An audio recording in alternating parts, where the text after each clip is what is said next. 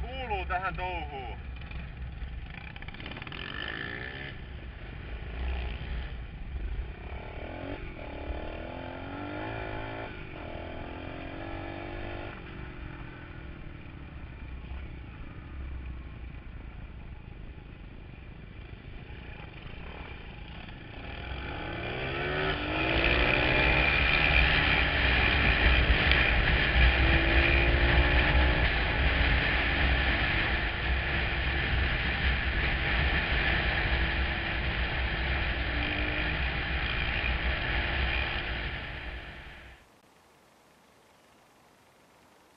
Samurait rivissä.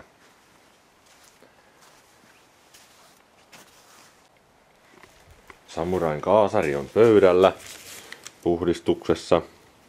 Viimekertaisessa vesikkoajelussa vettä pääsi kaasuttajan sisälle ja, ja, ja sähkölaitteisiinkin. Ja niinpä vehkeet alkoi röpöttämään. Kumpikin. Joo, kävin siinä kernihuollossa hakemassa uuden tiivisteen tuon vaurioituneen haljenneen tilalle tuossa. Noin, ja sitten kuulin vinkin, että kannattaa varmistua, että tuo ryypynläpän ruuvi on kunnolla kiinni. Siinä on vaara, että se saattaa pyöriä auki, jos se on löysällä ja mennä koneen sisällä.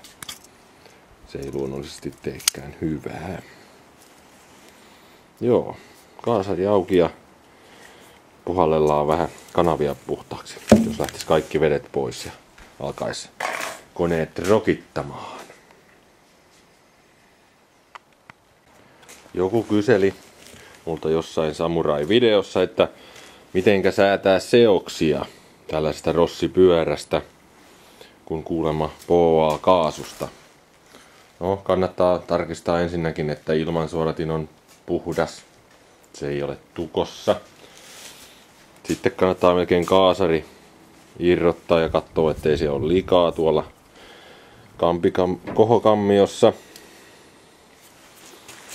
Joo. Seosruuvihan on, on tämä rontsin värinen tässä näin. Tämä normaalisti kirkas on tyhjäkäyntisäätöruuvi. Tässä näyttää olevan tehdasasennus tässä seosruuvissa kolme neljäsosa kierrosta auki. Ja sitä nyt voi pikkusen tuota säädellä suuntaan ja toiseen. Katsoo miten moottori reagoi siihen. Mutta tärkeämpi seoksen muuttaja on tämä neula, joka on tässä kaasuluistissa kiinni. Sillä säädetään polttoaineen rikkautta. Mä oon kerinnyt jo tämän sokan asentamaan tänne alimpaan reikään. Normaalisti se on tuossa keskimmäisessä tehdasasetuksessa. Nyt kun se on alimmaisessa, niin, niin tota kone saa rikkaampaa seosta. Niin rikasta kuin pääsuutin vaan antaa myöden. Näillä sitten pystyy kikkailemaan ja hakee seokset kohdalleen.